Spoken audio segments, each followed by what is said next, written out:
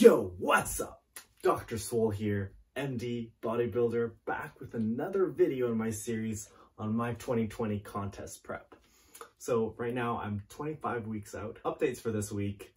In my last video, I was mentioning that my front squat has been grinding to a halt in terms of progress. I was initially thinking of just changing up the rep scheme, but on thinking about it further, I realized that I've actually been doing front squats for almost six months now, and it's probably time for a change. So I ended up switching my front squat to a high bar back squat. I think as prep goes on, I'm going to have to switch to easier type movements that generate less systemic fatigue while still generating a lot of stimulus for the muscle. So I'll probably be on high bar squats for a little while. Eventually I'll switch back to front squats.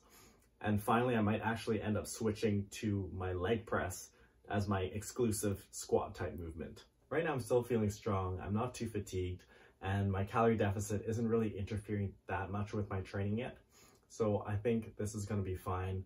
We'll see how things go. Now in terms of my diet, my weight didn't actually go down this week, which is kind of a problem. And I think this could have been due to two different factors. One, I could have slipped up a bit on my refeed and gone too hard.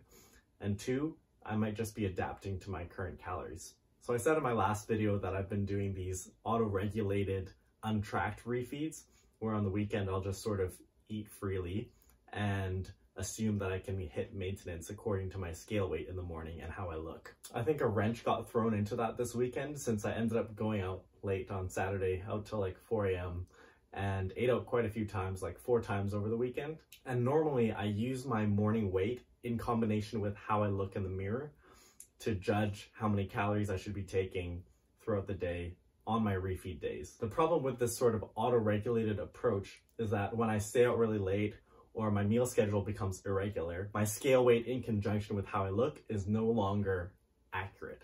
I suspect this is mainly just because the way I retain water changes when I follow an irregular schedule. So in terms of that, I'll just try and have a really tight refeed this weekend where I'm on track with everything and I have a good idea of what's going on and we'll see what happens. Now, if my weight stays the same for another week, we're gonna have to seriously consider that I've adapted to my current calorie intake and just not losing weight on it. First of all, I wanna mention that my plan in this prep is to not change anything about my approach until my weight is plateaued for at least two weeks. If you change things up too quickly and cut calories, you can end up in this dangerous position when your macros are really low and you still have more weight to lose. So basically, I want to make sure that I can squeeze out as much weight loss as I can from this current level of macros before cutting things lower. So if I do plateau, what are our options? There are probably two main strategies. One is that I can cut calories further. Two is that I can take a diet break. A diet break is a period of usually seven days or longer where you bring your calories up to maintenance. The idea is that with time, when you're dieting in a caloric deficit, your body's metabolism will slow down to adapt to that new calorie intake. From a survival standpoint, this is actually a protective mechanism. It's your body's way of keeping you from starving. A diet break has the potential to increase your metabolism and allow you to continue losing weight at those same macros you were at before when you cut back down again. The evidence for using diet breaks is fairly weak, but it is still there, and I think it's something that's going to work for me. All right, so here's my weight. Note that I didn't take any extra refeed days in the middle of the week, and my weight was looking like it was coming down quite well. As of Friday and Sunday, actually, I was down about a pound from the week prior, and then today it came back up. So I'm really curious to see what happens over the next few days. Not going to jump to any conclusions.